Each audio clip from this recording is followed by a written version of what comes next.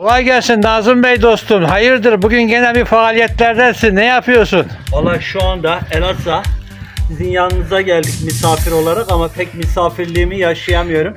Böyle sürekli köle gibi çalışıyorum Ahmet Bey'in yanında. Ve şu anda görmüş olduğunuz gibi Ecevit Ocağı yapıyorum.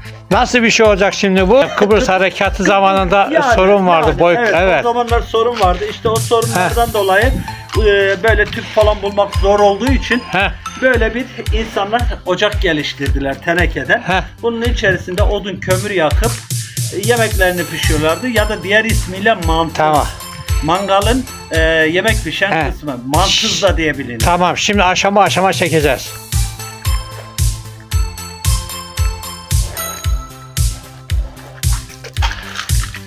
Oo harika.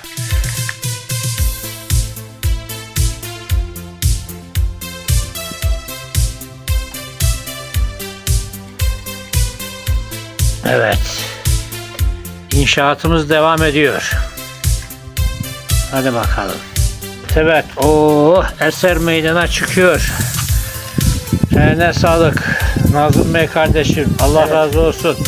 Bağa bak üzüm olsun, yemeğe. Evet Nazım Bey dostum. Ne aşamadasın bakalım. Evet şu anda mantızımız bitmek üzere. İsmi ne? Mantıs. Mantıs evet mangalın değişik şekli ocak yani yemek pişirdiğine mantıs denir. Ee, zamanında da biliyorsunuz Ecevit Ocağı denmiş buna. evet. Ee, şu anda bitirme aşamasındayım. Şu anda kazanın Kenarları geleceği yapıyorsun. Evet. yükseklikleri yapıyorum. Yaptığımız ocağımıza bir de kulp yapalım. Yani böyle taşıması kolay olsun. Şu kere bir tel büktük. Şimdi bu teli de burada içeriden böyle bükeceğiz tamam mı? Çıkmasın diye. Şöyle tamam mı? Şimdi bak şey yapacağımız zaman kenara gelecek böyle. Sonra böyle taşıyıp götürüp getirebileceğiz. Biraz tel zayıf kaldı ama olsun. Evet. İdare eder işimizi görüyor yeter.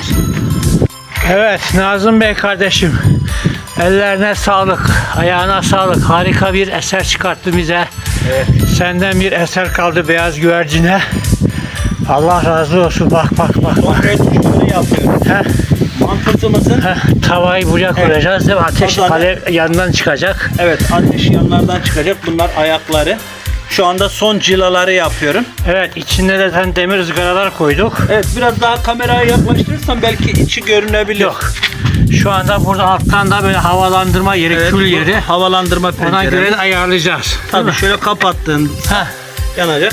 Son artık cilaları çekiyorum. Öyle Allah razı olsun. Eline sağlık. Teşekkürler. Sağ olasın, Şöyle var olasın.